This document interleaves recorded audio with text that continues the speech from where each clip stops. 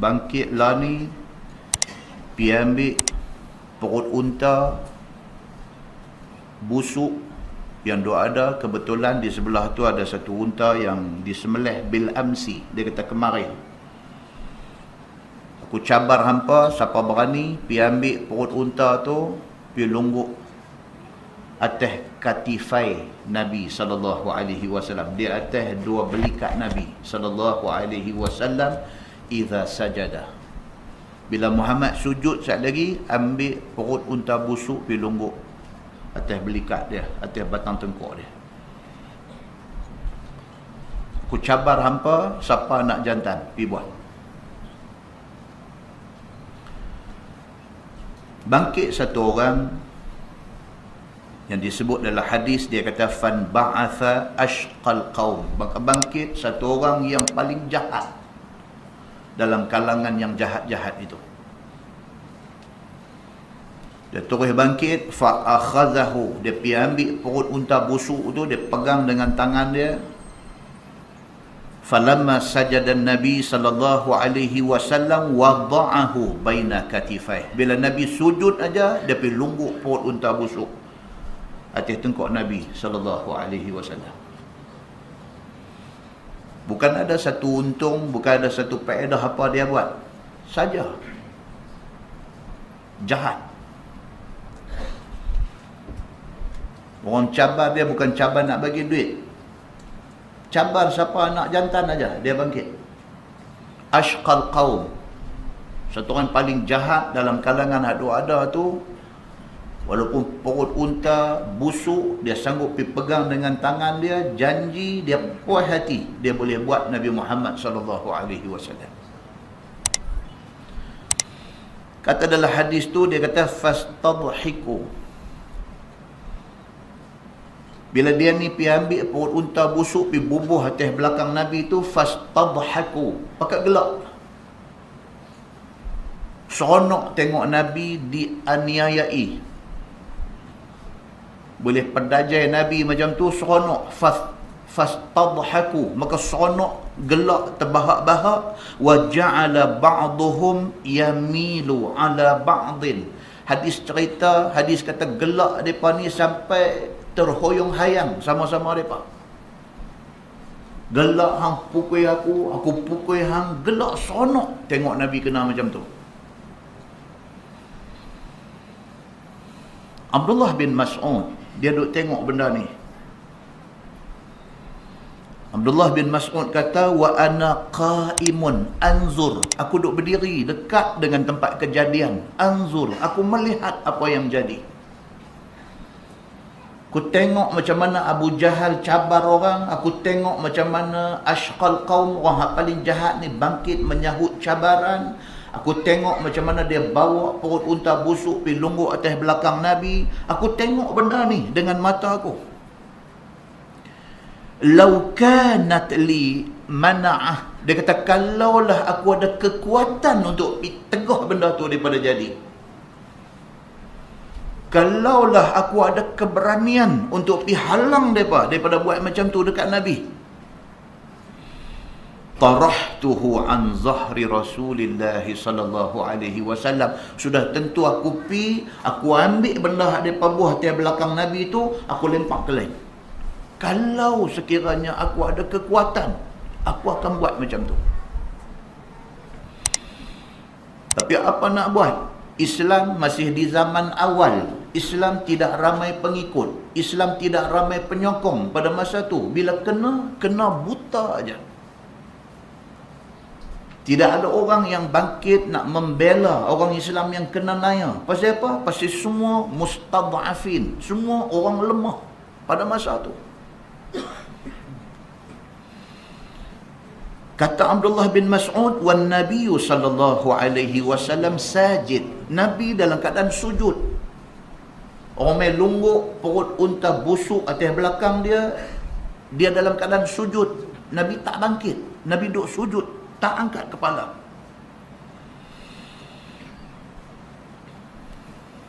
Ma yarfa'u ra'sah.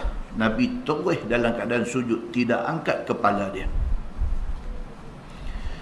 hatta talaqa insan fa akhbara Fatimah sehinggalah dalam ramai-ramai yang duk tengok tu ada seorang lari pi rumah Fatimah anak Nabi sallallahu alaihi wasallam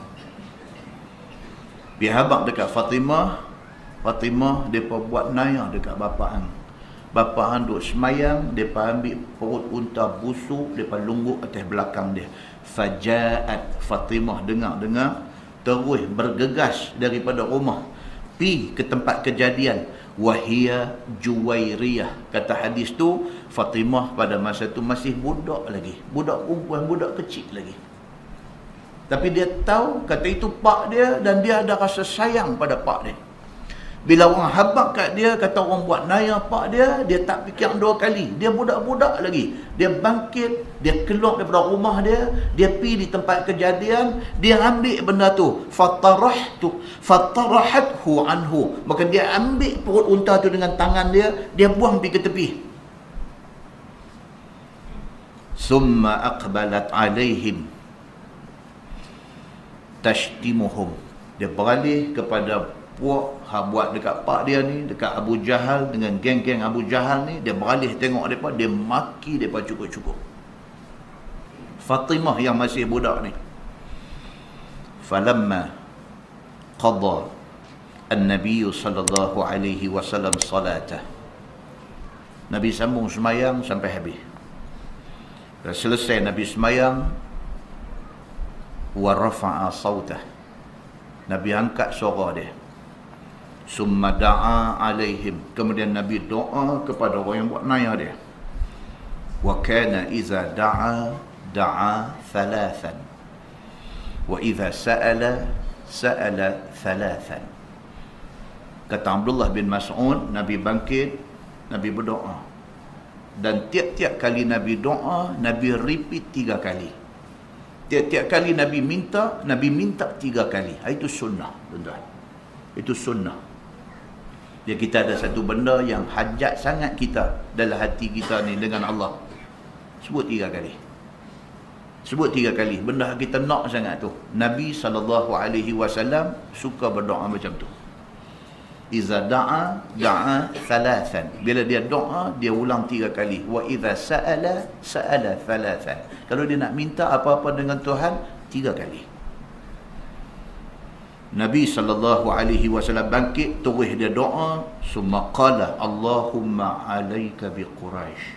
Nabi kata ya Allah musnahkan Quraisy. Sedangkan Quraisy itu adalah keturunan Nabi.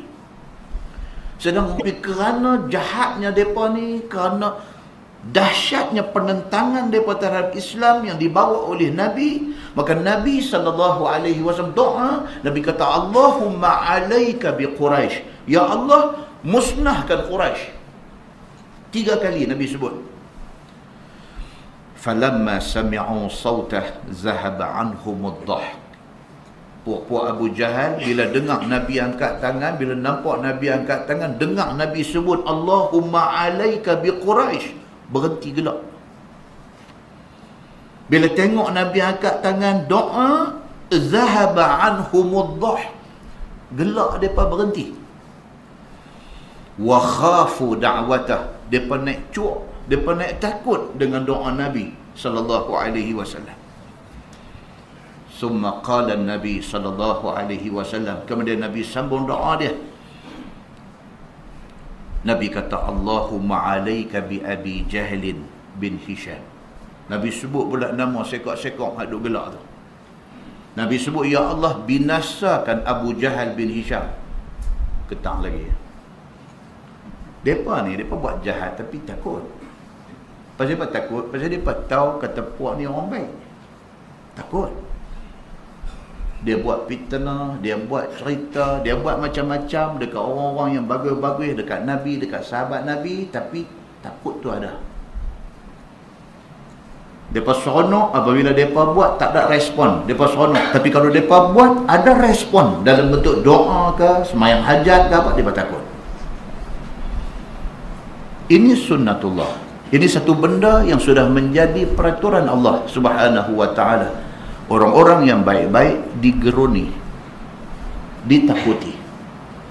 kemudian Nabi SAW sebut nama mereka ni seorang-seorang dan kata di hujung hadis tu Abdullah bin Mas'ud kata tujuh nama Nabi sebut ketujuh-tujuh nama yang Nabi sebut mati di dalam perang badar dan mayat mereka diseret dilempar di dalam kalib di dalam satu lubang besar yang dibuat di medan perang badar Abdullah bin Mas'ud kata, aku boleh tik seorang-seorang nama Nabi sebut tu. Semua mati dalam perang badar. Dan mati dalam keadaan yang cukup hina. Muslimin dan muslimat yang dirahmati Allah sekalian. Itu latar belakang cerita yang mai hadis yang kita baca pada malam ini. Teruknya penderitaan yang ditanggung oleh Nabi sallallahu alaihi wasallam dan sahabat-sahabat Nabi Maka mai hadis yang ada pada malam ini.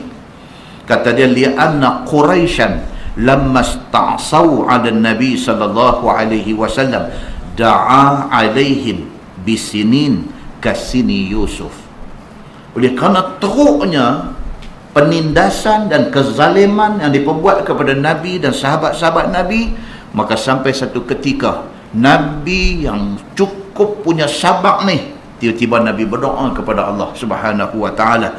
Nabi minta supaya ditimpakan ke hati orang-orang Quraisy yang derhaka Allah Subhanahu wa taala ini bisinin dengan kemarau dan kelaparan.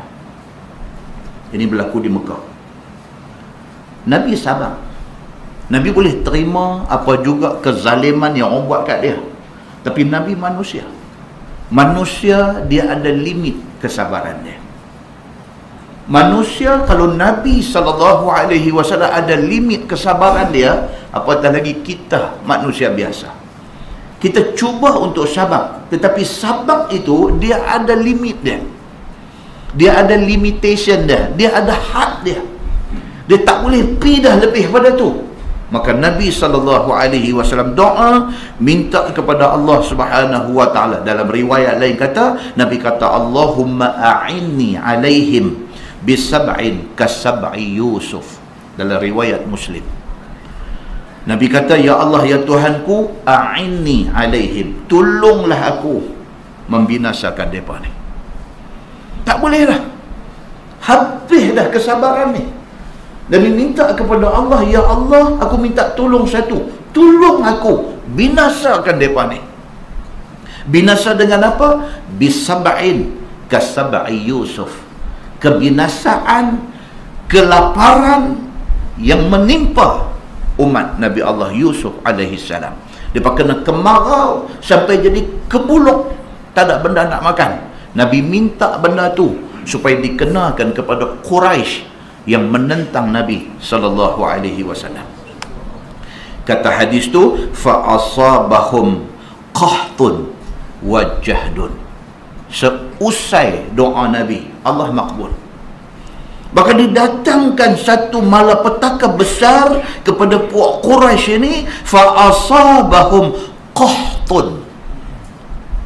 Qahtun maksud dia kemarau yang sampai membawa kepada bumi jadi gersang itu dipanggil qahtun qaf ha ta qahtun Maksud bukan kemarau saja. Bumi tanam apa pun tak tumbuh. Maka Allah subhanahu wa ta'ala buat mai kepada Quraisy di Mekah pada masa itu kemarau dan bumi tak boleh nak tumbuhkan apa tumbuh-tumbuhan wajahdun dan dibuat mai kepada mereka ni kesukaran dalam hidup yang amat sangat. Susah hidup. Hatta akalul izam. Dalam hadis lain dia kata hatta akalul julud wal maita wal izam. Sampai ke tahap orang Quraisy yang ada di Mekah pada masa tu kebuluran sampai ke tahap mereka makan julud makan kulit. Selalu kalau sembelih menatang makan daging saja kulit tak makan. Kebuluran sampai kulit pun hidup pepak makan. Wal maitah bangkai pun dia ke darah makan. Tak boleh tahan lapar tak ada benda nak makan. Wal izam sampai tulang pun dia makan Allah Subhanahu wa taala sudah makbul doa Nabi sallallahu alaihi wasallam maka Quraisy sudah kena benda tu masa di Makkah. Faja'ala ar-rajul yanzuru ila sama kata hadis tu sampailah ke tahap orang yang ada di Mekah pada masa tu. Terlampau panas kemarau ni. Sampai tak ada benda nak makan ni duk langut naik ke langit. Maka duk langut naik ke langit fayara ma bainahu wa bainaha kahayati dukhan minal jahdi. Sampai bila dia langut naik ke langit antara dia dengan langit dia nampak macam ada dukhan macam ada satu kabut. Macam ada satu kabus. Jadi kelabu tengok langit pun mata jadi tak nampak. Sampai begitu keadaan dia minal jahdi. Kerana terlampau susah keadaan yang ada pada masa tu. Panas makanan tak ada kebuluran sampai mata jadi kelabu. Sampai tengok ke langit nampak macam ada kabus. Tak nampak apa yang ada di langit. Hadis cuba nak menggambarkan keadaan mereka pada masa itu. Fa'anzalallahu ta'ala maka Allah buat turun satu ayat surah Ad-Dukhan. Allah berfirman fartaqib yawma ta'ti as-sama'u bidukhanin mubin yaghsha an-nas hadha azabun alim Allah turun ayat tu. Tuhan kata tunggu fartaqib tunggu.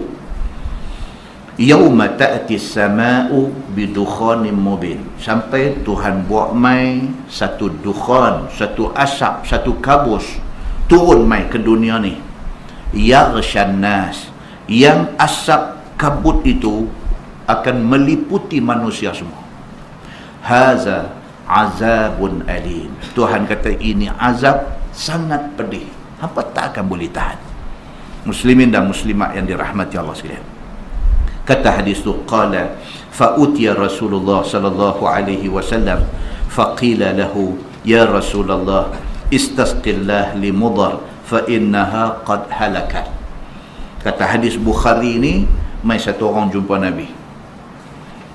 Dalam riwayat yang satu lagi dia kata yang mai itu ialah Abu Sufyan.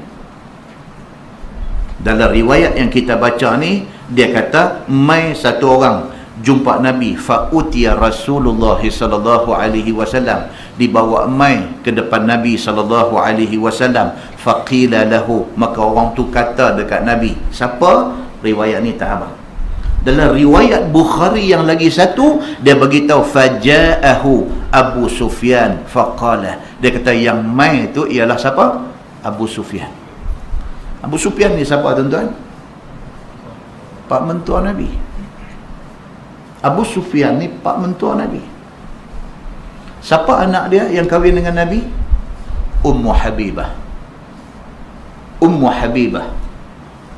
Sudah kahwin dengan satu orang lain Ubaidillah bin Jahshin hijrah ke Habsyah ke negara yang diperintah oleh Najashi. Tidak sampai sana suami dia Ubaidillah murtad. Suami dia ajak dia ajak Ummu Habibah yang dah masuk Islam ni ajak murtad. Dia tak mahu dia kata aku tetap di atas agama Allah agama Nabi Muhammad sallallahu alaihi wasallam laki dia duduk desak-desak dia tak mau sampai sudah sampai laki dia mati dalam keadaan kapiak dia tetap Islam. Yang kemudiannya atas cadangan daripada Najashi raja yang memerintah Habsyah dia mencadangkan kepada Nabi sallallahu alaihi wasallam yang pada masa itu sudah hijrah ke Madinah. Cadangkan suruh Nabi ambil Ummu Habibah buat jadi isteri. Dan Najashi jadi middleman jadi orang tengah tolong urus pernikahan Nabi dengan Ummu Habibah anak Abu Sufyan ni. Dan mas kawinnya 400 dirham dibayar oleh Najashi. Kemudian dihantar Ummu Habibah daripada Habsyah hantar mai ke Madinah. Nabi sudah hijrah. Daripada Mekah dia ada di Madinah Nabi balik daripada perang lawan orang Yahudi. Perang Khaybar Nabi balik daripada perang Khaybar, perang lawan Yahudi, Nabi sampai sama serentak dengan Ummu Habibah sampai dihantar oleh utusan Najashi mai ke Madinah. Nabi hidup sebagai suami isteri dengan Ummu Habibah. Masa tu Abu Sufyan masih kafir lagi, dia ada di Mekah. Itu berlaku pada tahun 7 Hijrah. Kemudian Abu Sufyan mai daripada Mekah, mai ke Madinah kerana nak ziarah anak dia Ummu Habibah yang dah lama dia tak tengok ni kerana hijrah ke Habsyah. Dia mai, dia mai di rumah Nabi sallallahu alaihi wasallam. Bila dia sampai, dia nak duduk. Ada satu tempat duduk yang menjadi tempat duduk Nabi sallallahu alaihi wasallam. Bila Abu Sufyan nak duduk, Ummu Habibah anak dia pi tarik kain lapik itu. Abu Sufyan tanya pasal apa? Dia kata ni pelapik duduk ni untuk suami aku Rasulullah sallallahu alaihi wasallam. Bapa tidak Islam, bapa tidak layak duduk di sini. Ni dicatatkan di dalam sirah. Dia hormat Nabi sampai ke tahap dia tak bagi. Bapa dia duduk di atas tempat duduk Nabi. Kemudian dia balik semula ke Mekah. Dia tak Islam lagi. Tapi dalam sirah kata apa? Dengan kejadian tarik pelapik duduk itu terdetik hati Abu Sufyan ni untuk nak masuk Islam tapi tak mau masuk lagi. Pasal apa? pasal dia orang besar. Dia nak buat satu decision satu keputusan nak masuk Islam dia nak kena tengok semua angle. Kedudukan dia sebagai orang besar Quraisy di Makkah. Pengaruh dia di dalam masyarakat Quraisy di Makkah. Apa orang nanti kata kat dia kalau dia tinggal agama dia masuk agama Muhammad dia fikir fikir fikir fikir fikir tak jadi masuk Islam macam mana Abu Talib waktu dia nak mati Nabi duduk sebelah dia. Abu Talib ni sayang dekat Nabi Allah Ta'ala saja yang boleh cerita macam mana sayang dia dekat Nabi. Bila Nabi kata Ya Ammi Qul la ilaha illallah hati nak kata. Tapi duk fikir kedudukan dalam masyarakat tak kata sampai mati. Abu Sufyan pun sopa duk fikir kedudukan dia dalam masyarakat ni. Balik Mekah tak masuk Islam the following year 8 Hijrah Nabi SAW masuk Mekah untuk pembukaan kota Mekah. Hari pembukaan kota Mekah, Abu Sufyan masuk Islam. Ni hadis yang kita baca ni, Abu Sufyan belum masuk Islam. Hadis ni cerita di Mekah. Bila dah Nabi doa kepada Allah supaya Allah turunkan satu malapetaka, satu kemarau, kelaparan, kebuluran kepada orang Arab Quraisy di Makkah, Abu Sufyan main jumpa Nabi sallallahu alaihi wasallam. Dia kata ya Rasulullah, istasqillah li mudar. Dia kata ya Rasulullah. Dia panggil Rasulullah, ya Rasulullah, tolonglah doa kepada Allah supaya Allah turunkan hujan kepada mudar.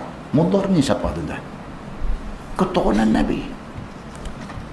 Yang kita duduk dengar orang duduk baca Muhammad bin Abdullah bin Abdul Muttalib bin Hashim bin Abdu Manaf bin Qusay bin Kilab bin Murrah bin Ka'ab bin Lu'ay bin Ghalib bin Fihir bin Malik bin An-Nadar bin Kinanah bin Quzaimah bin Mudrikah bin Ilyas bin Mudar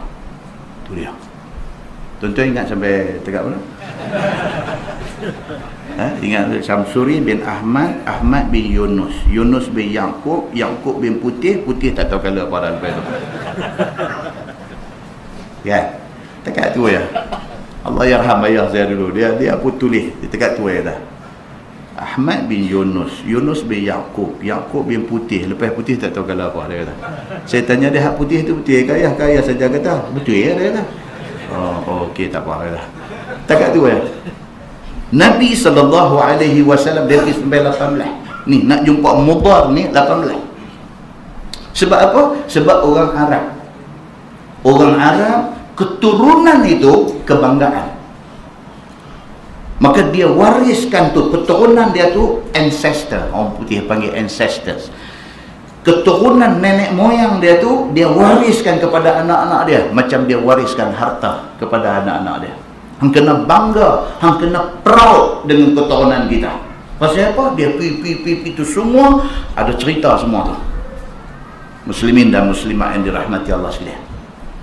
Apabila Abu Sufyan mai jumpa Nabi dia kata wahai Rasulullah dia kata mintalah doa kepada Allah. Nampak? Dia tak Islam lagi.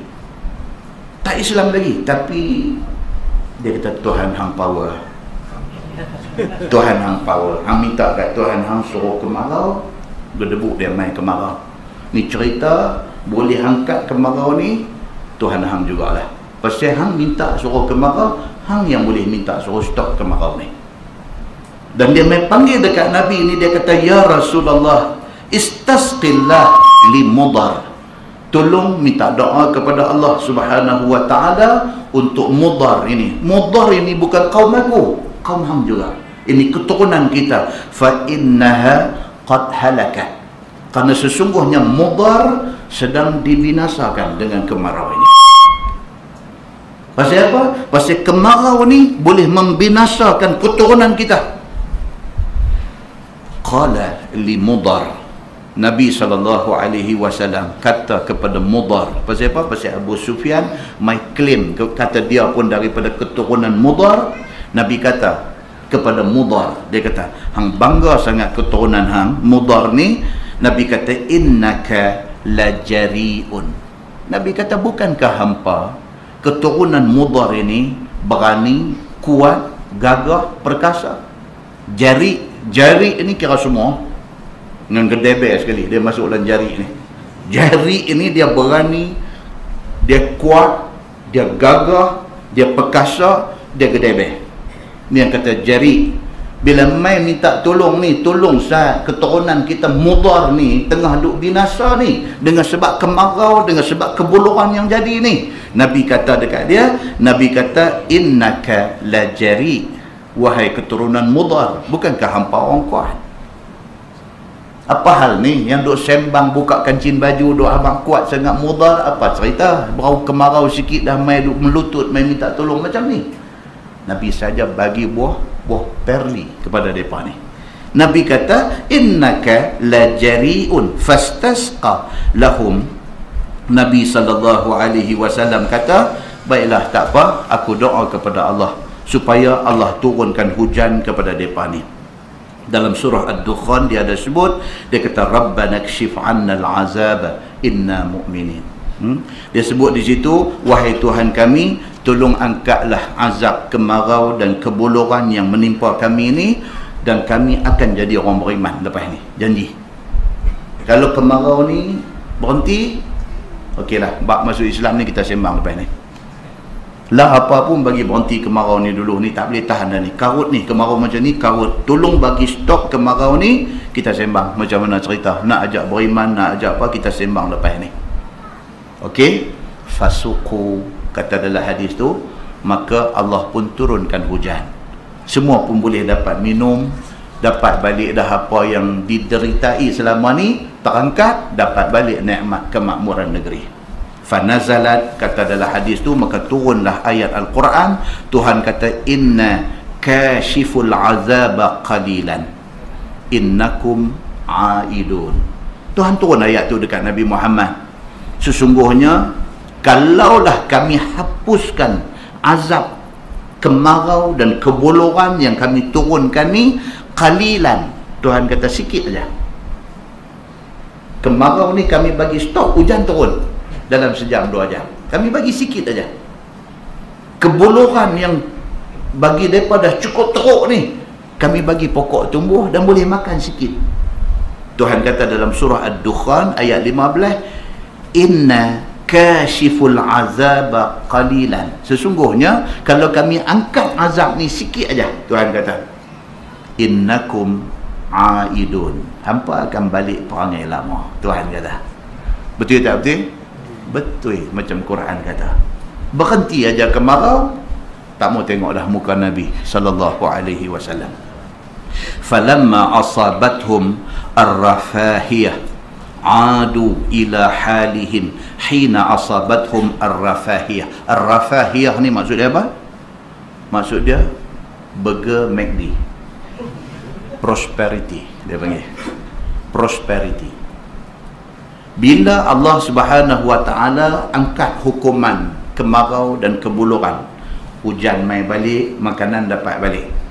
Falamma asabathum ar-rafahiyah apabila negeri kembali mendapat prosperity dapat balik kemakmuran. Apa jadi? Adu ila halihim hina asabathum ar-rafahiyah. Balik macam lama dulu balik engkar balik tidak mau terima Nabi sallallahu alaihi wasallam balik Quran-Quran tak mau dengar balik. Balik keadaan depa macam masa fa anzalallahu azza wa jal maka Allah Subhanahu wa taala turunkan ayat yauma nabtishul batshatal kubra inna muntaqimun. Tuhan turun ayat tu pula ingatlah hari yang kami akan hantam hampa habis-habisan. Pada ketika itu hampa tahulah bahawa kami yakni Tuhan adalah pemberi balasan. Tuhan kata, bila hari itu? Yakni Yawma Badrin, hari Perang Badar. Kerana engkar mereka dengan janji mereka dengan Allah, selepas daripada kejadian di Mekah ni semua, Nabi dah pergi Madinah, perang yang pertama jadi perang apa?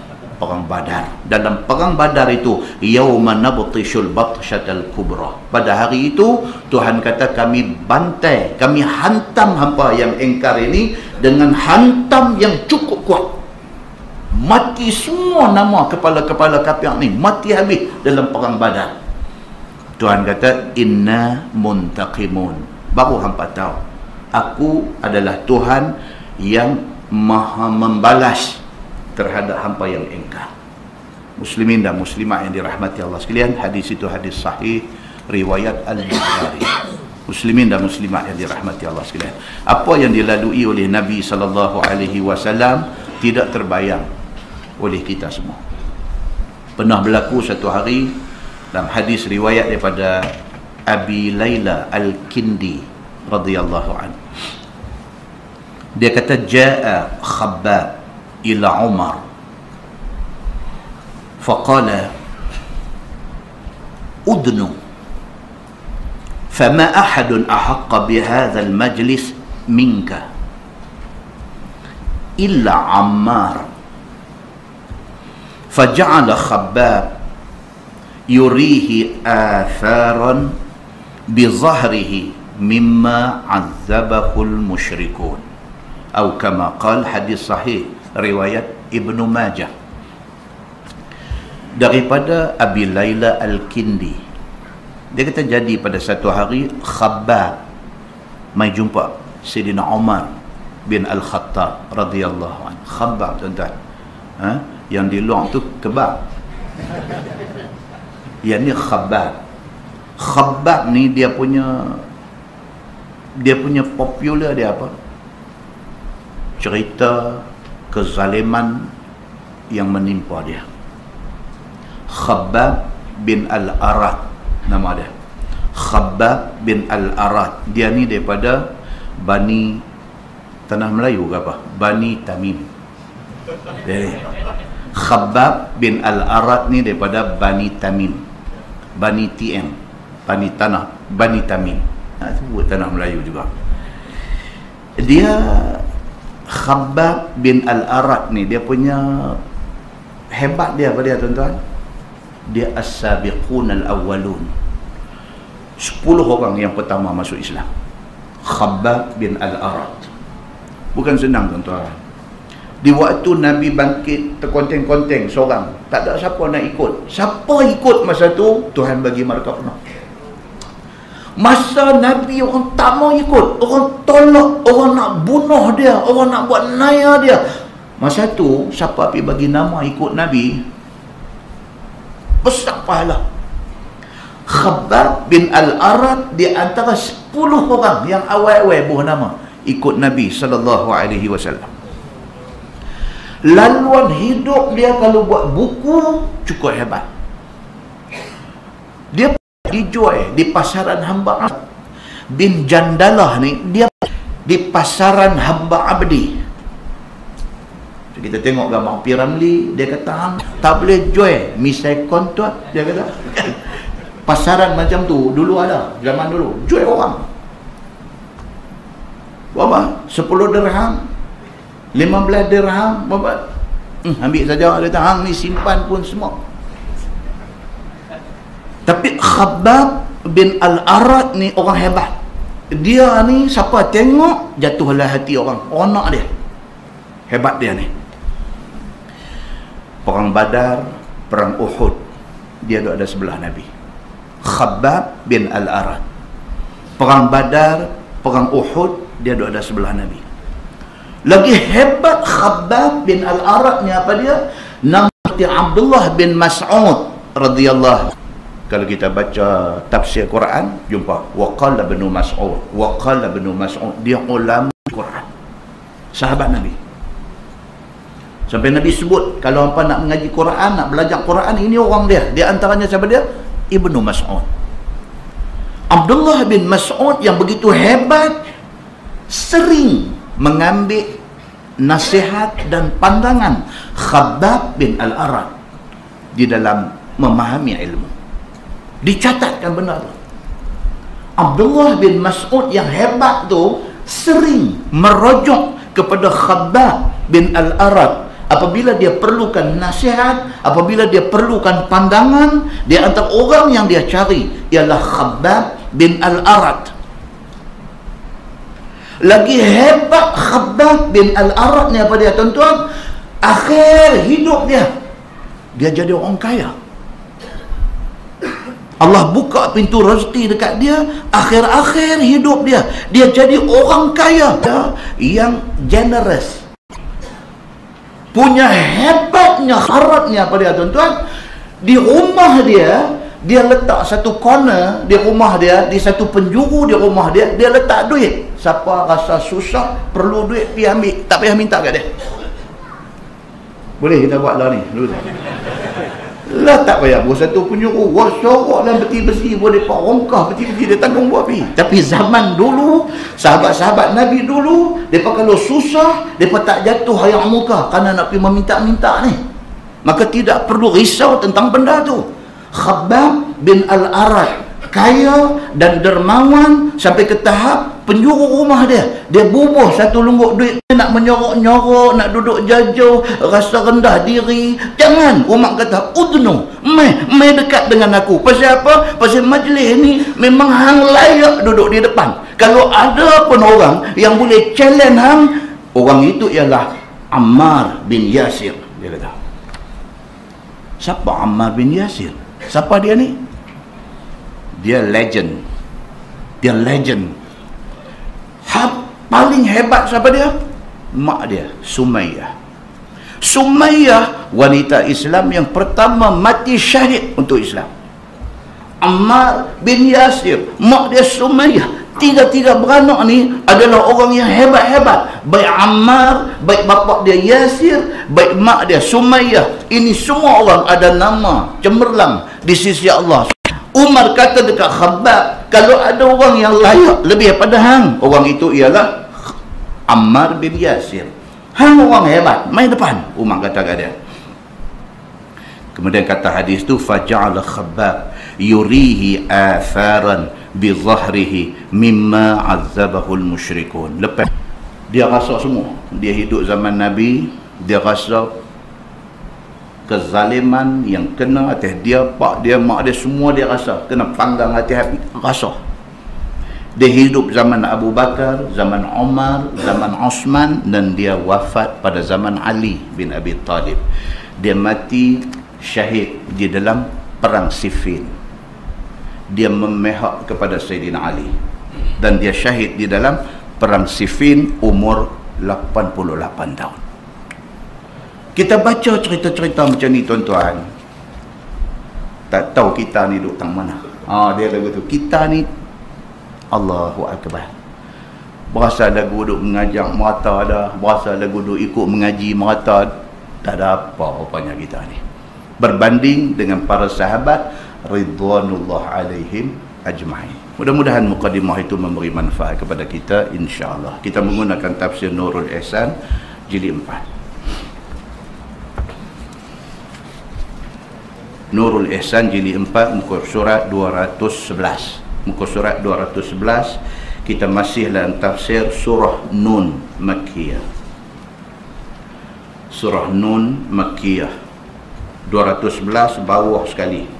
Ayat 17 a'udzubillahi minasyaitonirrajim inna balawnahum kama balawna ashabal jannah bahwasanya kami yakni Allah Subhanahu wa taala bala ke atas mereka itu. Yakni ke atas penduduk Mekah dengan kemarau dan lapang. Ha, ini hadis yang kita baca tadi.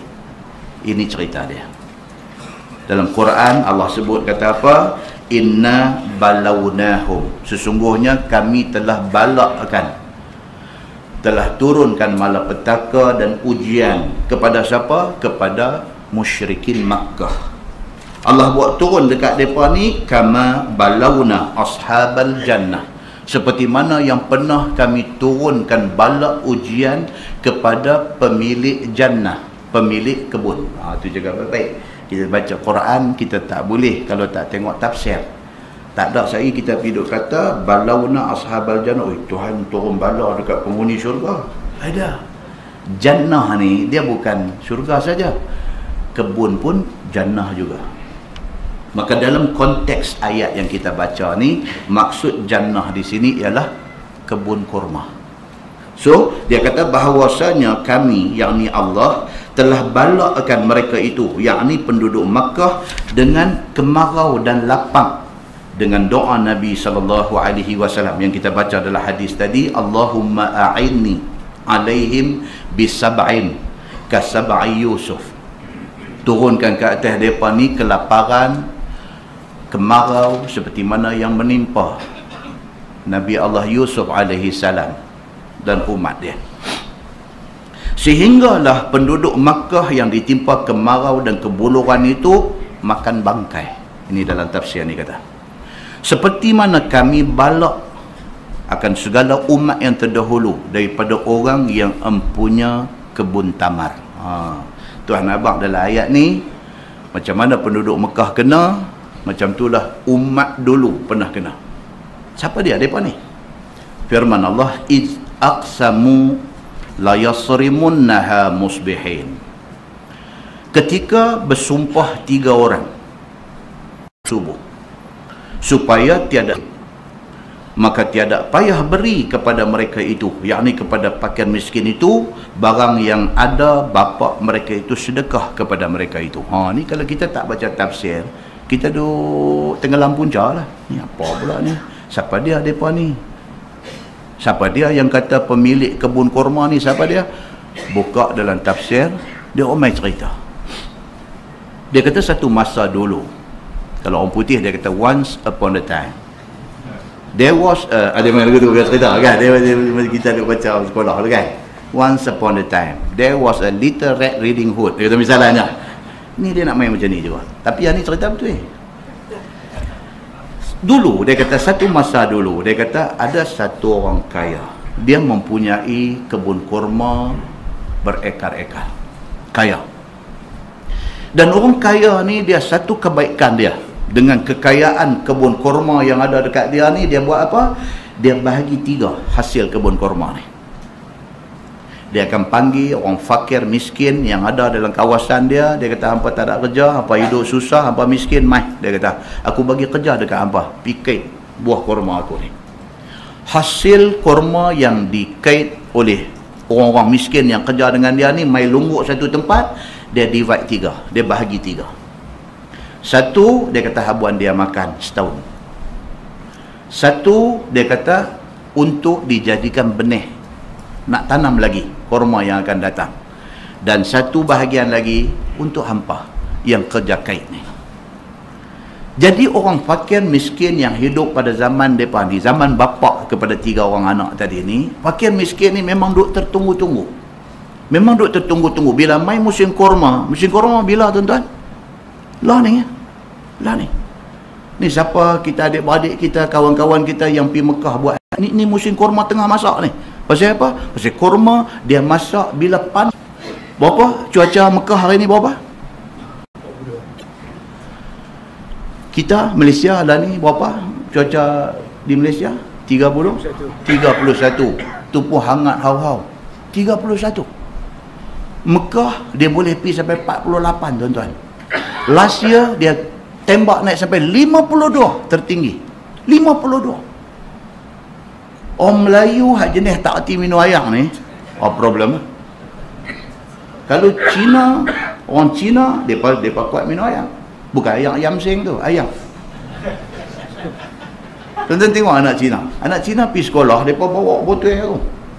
Kan? Beg galah pergi sekolah tu poket kiri kanan ni dia punya ration ayam apa ni? Ration ayam. Cikgu duduk mengajar boleh buat minum? Pasal dia buat jenis orang minum ayam. Kan? Dia buat jenis orang minum ayam. Orang Melayu ni dia tak hati minum ayam dia tak hati tuan-tuan ada anak tuan-tuan pergi sekolah bawa bekal ayam? Tak ada. Dia kira nak beli di kantin sekali lah. Dia bawa duit lah. Dia nak beli ayam di kantin tu minum segelas lah cukup dia tak bawa ayam. Sedangkan minum ayam saya lagi bercerita pasal ayam ni pula. Kan? Nak abang kata minum ayam ni bagus. Saya pernah cerita apa di surau ni. Dulu cerita tentang khasiat minum ayam. Pagi banyak mana minum apa khasiat, khas, eh, khasiat dia semua kita dah cerita dah dulu. Memang bagus. Masalah orang Melayu yang tak apa suka minum ayam tak biasa minum ayam banyak ni bila pi Mekah pi kena musim haji musim macam ni panas terik ni. Ni dalam sikit tahun ni sebab kalender dia nanti lari 10 hari ya setahun.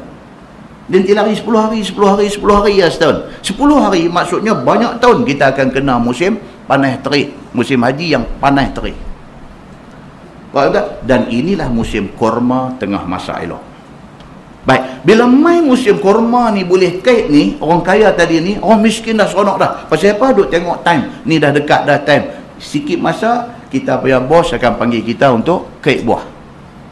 Buah daripada berapa ekar kebun korma ni dapat lungguk satu tempat bahagi tiga. Satu per tiga dia ambil untuk kegunaan dia setahun. Satu per tiga simpan untuk buat benih nak tanam balik. Satu per tiga hampah dia kata. Hampah ambil lah banyak mana apa nak ambil daripada satu per tiga ni. Maknanya orang miskin tidak susah pada masa bapak mereka ni menjadi orang kaya, menjadi tuan punya kebun tamar. Bila mati orang tua ni, anak tiga orang pakat gabui ambil kebun korma ni. Bila mereka pegang kebun korma ni, apa jadi? Mereka nombor satu, mesyuarat. Tiga Abdul ni mesyuarat. Abdul Wahab, Abdul Wahid dengan Abdul Wahab mesyuarat. Dia kata ni macam mana kebun korma ayah tinggal ni, adakah kita akan menjalankan tradisi ayah kita? Maksudnya bila main musim nak kait buah, kita panggil semua orang pakai miskin ni suruh kait dan mereka akan dapat satu per tiga daripada hasil kita. Macam mana? Abdul Wahid kata ini tak boleh jadi. Dengan tarus panjang dia, dia kata ini tak boleh jadi. Ayah, ayahlah. Dia kata, itu ayah, dia seorang ayah. Semua ni, ini kita dah ada tiga orang. Kita dah bagi tiga. Dah bagi tiga. Dah nak bagi pula lagi dekat puak pakai miskin ni. Dia kata, no, aku tak setuju bagi. Abdul Wahab kata apa? Saya macam abang. Dia kata, saya suka. Saya tak bagi. Seorang aja daripada tiga ni, seorang saja yang berhati lembut. Yang berhati lembut. Tapi akhirnya, tiga-tiga beradik buat keputusan, majoriti kata, start from now on, no more orang miskin. Nak suruh kait ni. So, kita buat macam mana? Kita kait subuh-subuh pagi, sebelum orang miskin pergi tidur. Ni cerita ni pernah berlaku dan cerita ni disebut dalam Quran. Maknanya kalau sebut dalam Quran betul tak betul tuan-tuan? Betul. Betul kita baca apa nak jadi. Kan?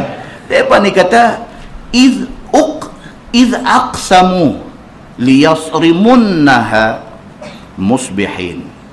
Maka ketika bersumpah ketiga-tiga anak yang ditinggalkan oleh tuan kebun korma ni bahawa mereka sungguh nak potong ambil buah taman ni pada waktu subuh. Kata esok pagi esok pagi-pagi sebelum orang miskin bangkit kita pergi buah je betul ke orang miskin bangkit lambat? Hampir betul. Pasal apa? pasal itu miskin pasal bangkit lambat. Betul? Kadang-kadang kita tengok dalam masyarakat ni bukan? Dia ni miskin tapi pukul 10 baru nampak keluar rumah. Kita nanti kata apa? patutlah miskin kita kata. Nampak tuan pasal apa? Orang yang nak dapat rezeki lebih dia subuh-subuh dia dah bangkit semayang subuh dia dah kerja. Hak duk bangkit pukul 9 pukul 10 ini semua rezeki susah nak main. Pasal apa? pasal orang lain dah pergi ambil dah rezeki semua. Dia bangkit tak lagi bangkit duk melengung saja apa pun tak ada. Baik so kata hak tiga beradik ni sebelum apa-apa mereka ni tak bangkit tak apa subuh-subuh kita pergi pederai dulu pokok-pokok ni. Supaya tidak ketahui oleh fakir miskin maka tiada payah beri kepada mereka itu. Barang yang ada bapa bagi sedekah kepada mereka itu. Ayah dah bagi dulu kita jangan dah. Kita buat sendiri dia berkata wala yastathnun. Dia kata dan tiada istisna pada sumpah mereka itu dengan kata insya-Allah. Ha dia masuk juga benda ni. Tiga-tiga beradik ni dia kata apa? Pagi-pagi buta esok kita turun kita pergi perkelia semua pokok buah-buah korma ni supaya mereka bangkit-bangkit tak ada dah kita dah buat kerja dah buah korma ni. Dan tak sebut kata insya-Allah pagi esok kita pergi buat. Tak sebut insya-Allah. insya-Allah tu Allah sebut dalam Quran. Tak sebut tu tak kecualikan tak lapik dengan insya-Allah. Tentu pernah dengar tak hadis apa hadis Nabi sallallahu alaihi wasallam cerita tentang insya-Allah Siapa dia? Nabi Sulaiman Daud. Dulu menteri Sulaiman Daud. Menteri Pendidikan Sulaiman Daud. Rupanya Nabi Sulaiman pun Sulaiman bin Daud juga. Ha, jadi senangnya. Jadi kalau orang tanya kita, Nabi Sulaiman dengan Nabi Daud ni siapa ayah, siapa anak? Tak payah apa dah. Ingat balik menteri dulu, Sulaiman Daud, Daud apa? Habis, Z. Formula, formula, formula. Habis ingat lagu lah. Formula. Baik, apa jadi dengan Nabi Sulaiman? Dalam sebuah hadis riwayat daripada Abi Hurairah radhiyallahu an. Dia kata anin Nabi sallallahu alaihi wasallam qala Qala Sulaiman bin Daud La atufanna al-laila ala sab'i namra'ah. Ni Nabi Sulaiman Daud kata La atufanna al-laila ala sab'i namra'ah. Dia ada 70 orang isteri. Nabi Sulaiman ni ada 70 orang isteri. Dalam satu riwayat dia kata tis'ain bukan sab'ain, tis'ain. Satu riwayat kata 90 isteri. Dua-dua riwayat sahih. Berapa bilangan sebenar wallahu alam. Tapi kalau 70 pun dah syarah. Dah syarah. Dia ada 70 orang isteri kata riwayat ini dia kata la atufanna lailah ala sab'ina imra'ah. Malam ni dia kata aku nak pi tidur dengan 70 orang isteri aku. Ke 70 70 orang dia nak pi tidur malam ni.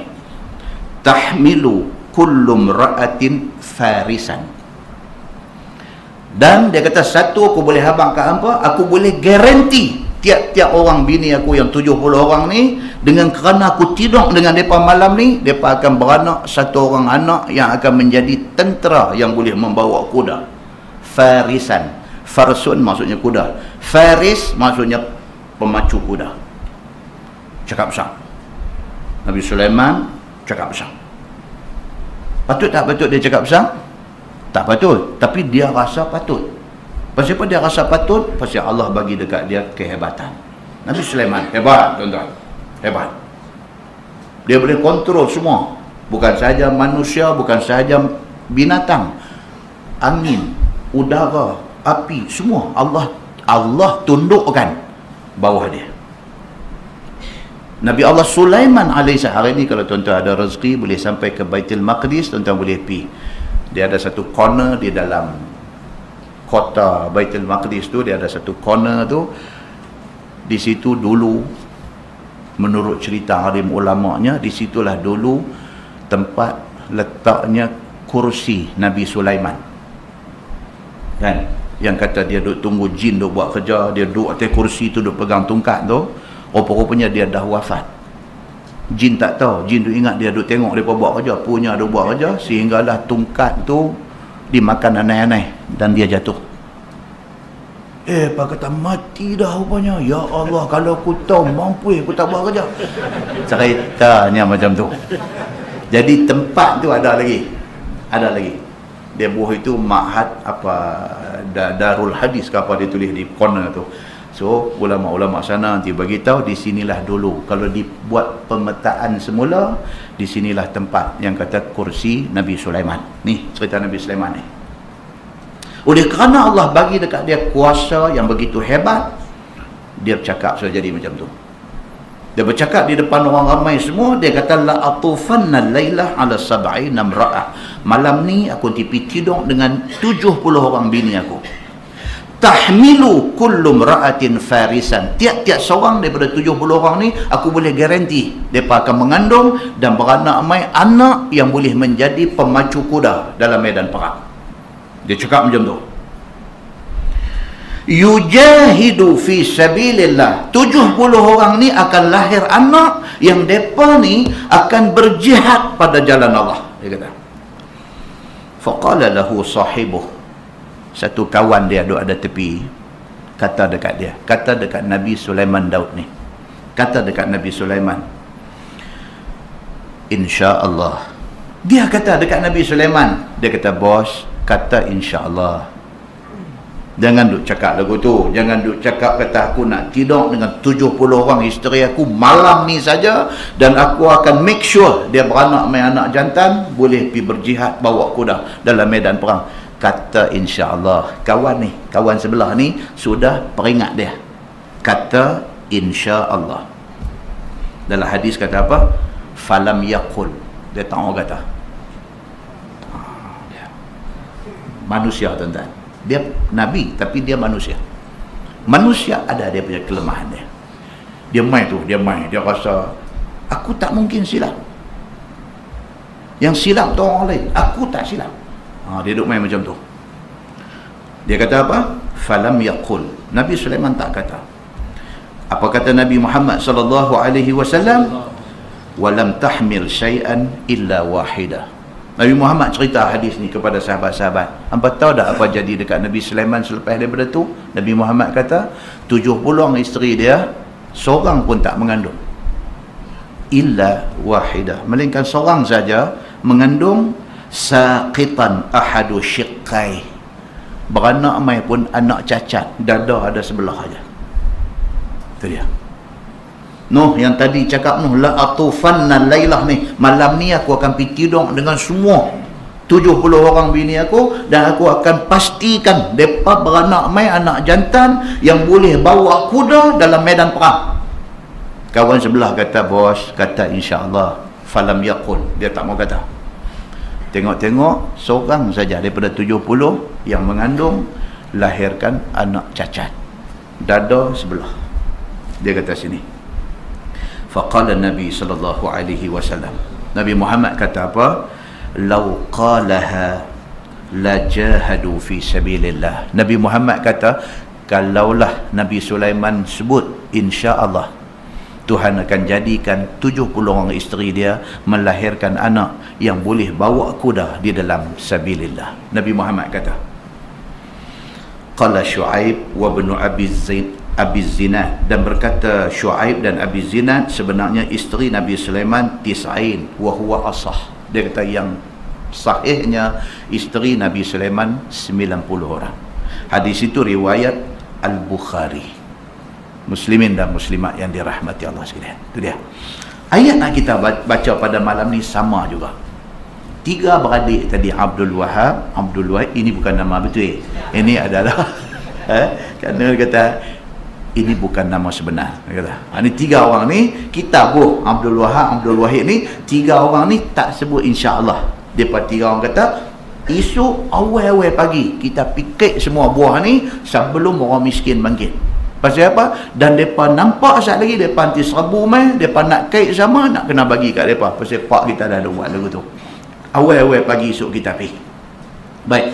Fattafa alaiha taifun min rabbik wa hum naimun. Ah Tuhan mai dah. Tunjuk dah.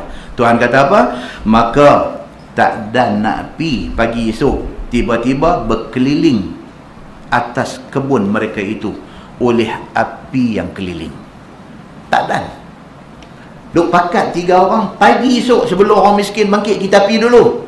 Tak dan nak pi pagi. Tuhan hantar main api habis kebun kurma terbakar. Kalau zaman lah ni cakap juah pasal apa? Saya buat benda. Apa dia kata? Bena perang apa? Kutu burung apa? Dia kata aku duk tanam aku duk buat bendang ni dia kata masuk ni dah 48 tahun dah tak pernah jadi apa. Dia kata pagi esok pipi clear bena perang mengisytiharkan perang dengan dia. Tinggal pokok air duk kena pupuk angin biji padi tak Tuhan ya Allah wa akbar tuan-tuan. Tuhan ni kadang-kadang cash dia bagi. Cash dia bagi. Pergi tengok so, tak ada. Pokok ada buah padi tak ada. Pasal apa? pasal Allah tak suka kepada orang sombong orang yang takabur orang yang bangga diri. Allah tak suka. Wala tamshi fil ardi maraha jangan apa berjalan di atas muka bumi dalam keadaan sombong bongkak dan takabur. Tuhan tak suka. Jadi kepada tiga Abdul ni apa? Tak ada nak pagi esok. Tiba-tiba Allah hantar mai api. Habis hanyam semua kebun mereka api itu mai daripada Tuhan engkau dan sedangkan mereka itu masih lena tidur sekaliannya. Duk tidur rupanya sana api hantam habis dah pokok korma. Habis dah. Dia kata maka terbakarlah kebun korma itu pada malam itu juga. Fa asbahat kasarim. Dia kata maka berpagi-pagi esok ni kelihatan kebun korma itu hitam seperti arang seperti kelam malam di kampung yang bernama Sirwan iaitu dua farsakh daripada Sana'a iaitu di Yaman. Ha, ini kejadian ni di mana? Di Yaman. Ni yang direkodkan oleh Allah dalam Quran ini ini kejadian betul. Di mana jadi dia? Tak jauh dengan Sana'a. Kan orang lah dia baca kod Rumi S A N, A. Ada yang bunyi senang apa dah? S A N, A. Sana'a. Sad. Sana'a. Dia panggil gitu. Kan? Tak jauh dengan ibu negeri Yaman ni dengan Sana'a ini. Dia kata adalah tuannya ada tiga anak. Ah ni dia cerita balik kita kata tadi.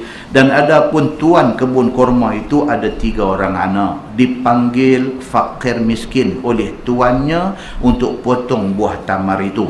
Ditinggal kepada mereka itu mana yang luruh jatuh dapat banyak kepada fukara maka tak kala mati tuan dia hak sebenar ni dipesaka oleh tiga anaknya bakhil sekaliannya.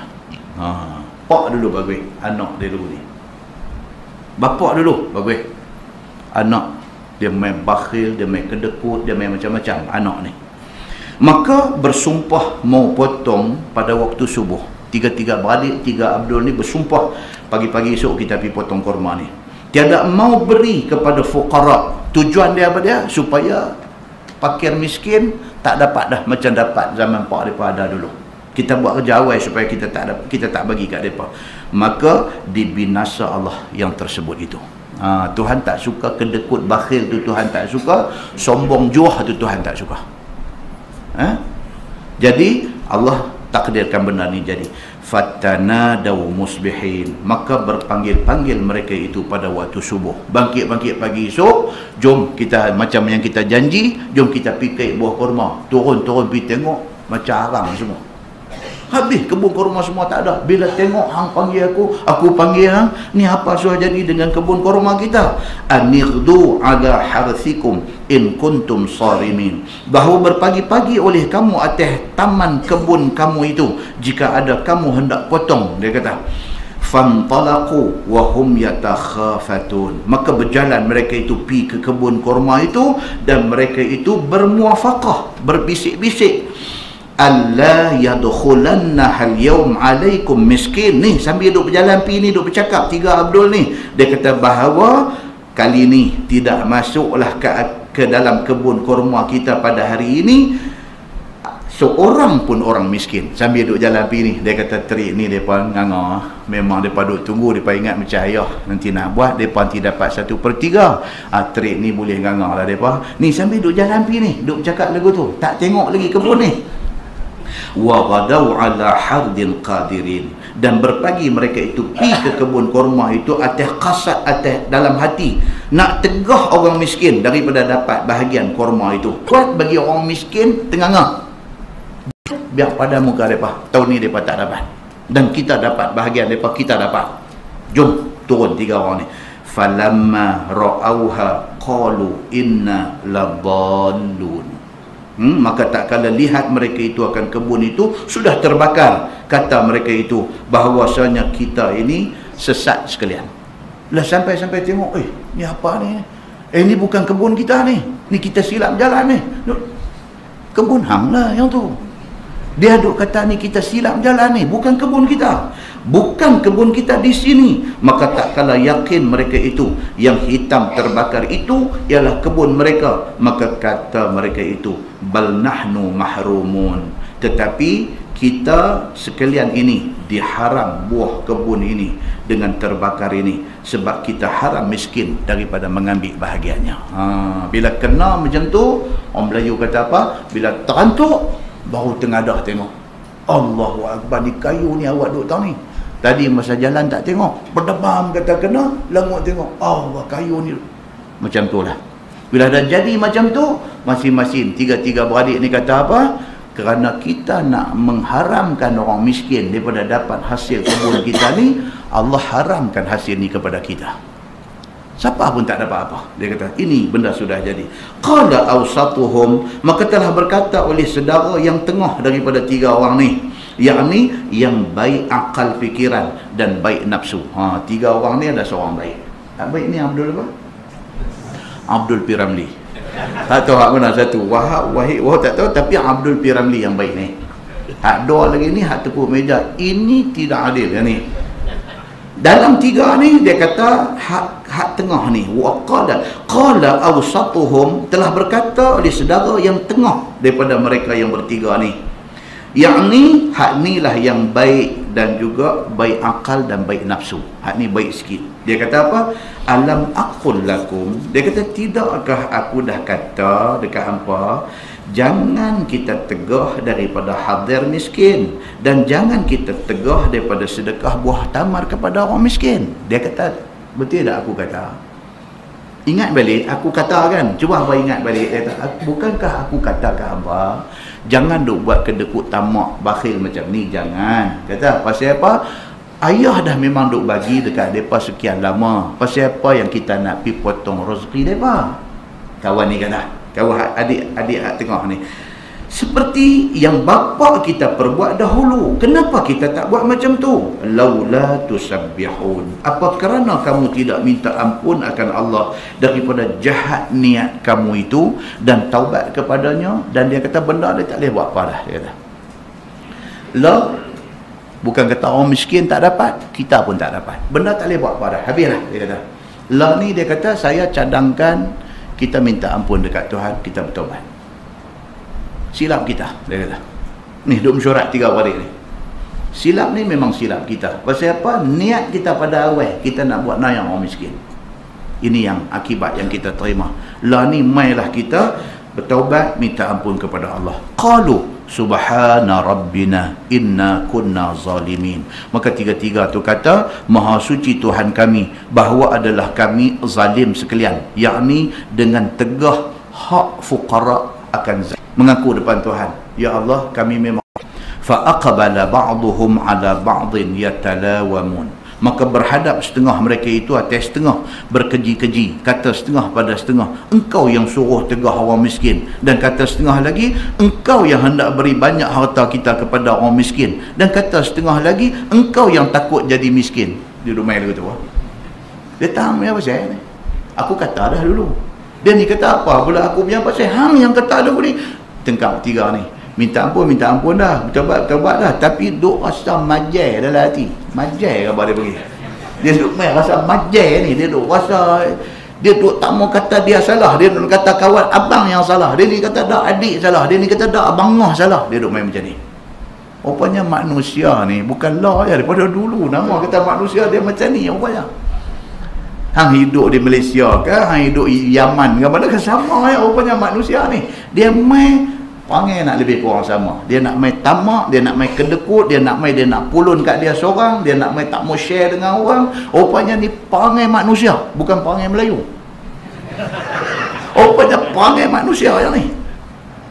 Dan dia kata di sini ya, hang kata kat aku, aku kata kat hang, duk lawan tuduh hang aku. Qalu ya wailana inna kunna taghin.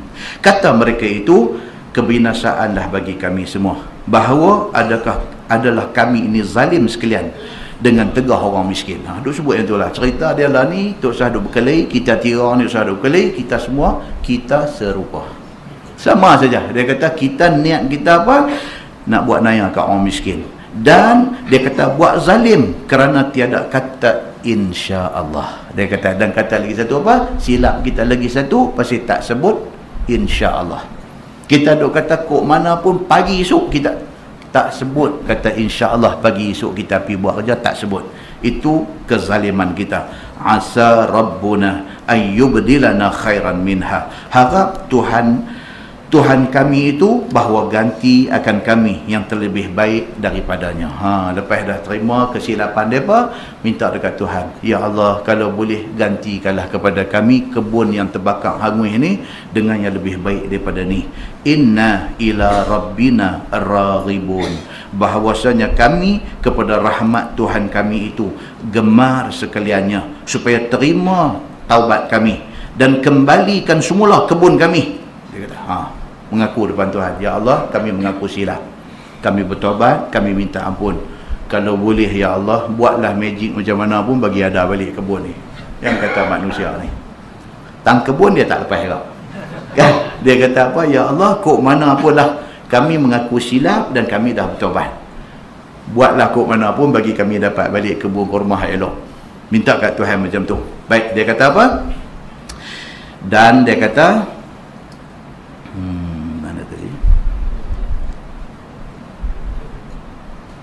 dan diriwayatkan bahawa diganti bagi mereka itu kebun yang lebih baik. Ya Allah yang kata Tuhan ni bagi balik. Tuhan bagi balik ganti kebun yang lebih baik ketika diketahui Allah akan benar hati mereka itu. Korek buang tempat kebun yang terbakar itu dan dibawa kebun daripada tempat itu. Boleh buat. Oh. nanti kita baca satu mukadimah hadis cerita tentang lembu bercakap Oh, ada hadis sahih, hadis sahih riwayat Al-Bukhari. Nanti kita baca. Bila Nabi cerita, sahabat dengar, eh biar betul. Hmm? Nabi kata apa? Tetapi aku dan Abu Bakar dan Omar percaya benda ini. Nabi kata begitu. Makna kata apa? Ada tak benda yang mustahil pada Tuhan? Ini bukan. Bagi Tuhan, benda ni tak ada apa-apa. Allah pernah tunjuk malaikat uh, apa nama ni? Jin ifrit. Wa qala ifritun minal jin. Quran cerita kan? Kisah Nabi Sulaiman dengan Balqis ni. Ifrit challenge habis. Manusia yang paling berilmu kata dia boleh bawa mai istana Balqis mai apa ifrit kata apa? Aku boleh bawa mai hang pejam mata celik. Benda dua datang ni.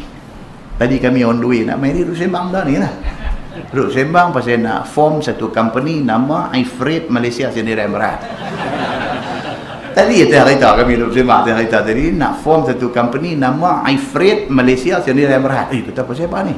Pasal dua nak mai tadi, duk lepas kawasan seberang jaya nak mai ke juru ni heavy traffic jam. Kan? Heavy traffic jam. Tu sahabat kita kata ni punca dia pasal apa? Pasal di kawasan Bukit Tambun, Johor apa semua tu duk naik housing settlement ni cukup banyak.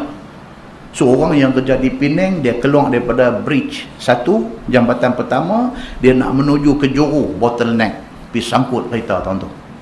Penyelesaian kami pun macam mana Datuk Bandar lah tadi hati kereta dia sembang ni. Kan? Kata ni penyelesaian dia apa dia? Mau buat satu flyover untuk puak nak pergi Johor nak pergi bagi kat mereka satu flyover mereka tak kacau jalan kita nak main Taman Gerian kan? Jadi sembang-sembang-sembang kita kata benda tu dua masalah. Yang pertama apa dia? Yang pertama budget. Allocation duit. Peruntukan untuk nak buat flyover. Itu bukan kata murah punya cerita. Satu yang kedua, yang leceh ni apa dia? Kalau ada duit pun nak buat tu sementara nak siap flyover tu ni, dia kacau jalan bawah ni macam flyover kita ni lah. Ni. Berapa tahun duk main taman kerian dengan duk tak siap-siap ni, flyover ni. Selagi tak siap, selagi itulah duk ada saya buat kesulitan amat dikesali. Kan? Macam tu. Bila dah siap, ha, lega. Kita menyawa pun lega, kereta pun lega semua. Tapi nak boleh kesiap tu, kalau kontraktor hak jenis buat kerja elok ni 3 tahun baru siap. Kalau kontraktor hak jenis leceh ni dia boleh pergi 10 tahun pun tak siap. Dia boleh jadi, benda ni boleh jadi. Eh, kami tadi duduk sembang. Mai satu idea. Lah ni kita kena fikir future. ni jangan ni kereta nak main taman gerian ni tadi bijak nak fikir satu orang yang buat civil engineering ni kena fikir macam mana nak buat ni satu flyover yang kemah yang tapi boleh siap cepat tidak ada lain melainkan khidmat ifrit diperlukan. Pasal dia dah membuktikan dia buat mai istana Balqis mai kedebuk duk ada di depan ni mata pejam celik duk ada. Alangkah baiknya kalau sekiranya esok ni tahun 2020 boleh ada satu engineering yang macam ni. Mereka buat flyover di satu tempat lapang tak kacau orang satu kawasan lapang tu buat flyover sukat elok-elok buat di semua semua bagi siap ifrit mai dia main dia gabus-gabus-gabus sikit dia ambil perbam dia letak. Allahu Akbar. Dalam masa 3 jam kereta jalan zoom zoom zoom semua elok. Yang buat ni dia punya company mana? Ifrit Malaysia. Sendiri yang buat.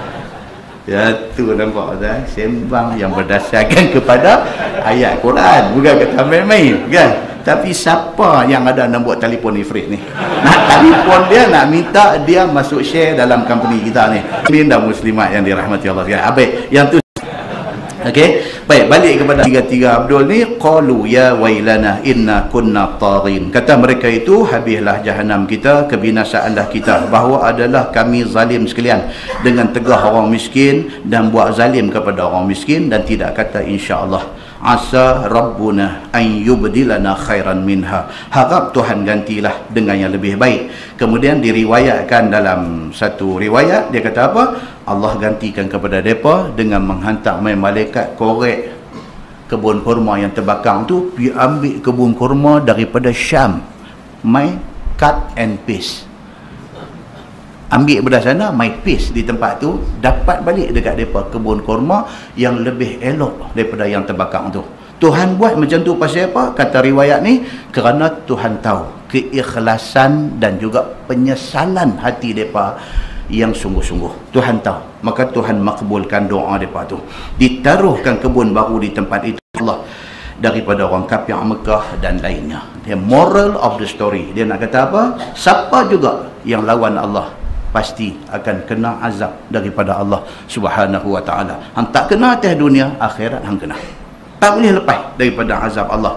Maka moral yang paling besar daripada cerita ni apa dia? Jadilah orang baik. Jangan buat naya orang. Yang tu dia punya tujuan dia nak bagi tahu. Firman Allah dia kata apa? Kadzalikal azab wala azabul akhirati akbar dan bermula azab akhirat itu jauh lebih besar daripada azab dunia kalau dunia kita rasa susah sangat dah akhirat lagi susah. Dan abang yang tu. Lau kanu ya'lamun. Jika ada mereka itu ketahui akan azab akhirat nescaya tiada menyalahi mereka itu akan segala suruh daripada kami Tuhan kata. Kalau manusia tahu dahsyatnya azab akhirat manusia tak akan lawan Tuhan sama sekali. Nah wallahu alam. Lepas ini kita tengok dan turun tak kala kata kapiak-kapiak Mekah jika dibangkit kami hari kiamat nescaya diberi akan kami terlebih afdal daripada kamu orang Islam. Hmm, ni. Orang kafir ni. Pun boleh kata kepada orang Islam pun kata lah ni nak cakap banyak tak mau. Kami betul hampa tak betul. Orang kafir kata. Orang kafir kata dekat orang Islam sebenarnya kami betul hampa tak betul. Hampa tengoklah esok hampa mati kami mati. Kita bangkit di sana esok siapa betul? Depa cakap kata depa betul.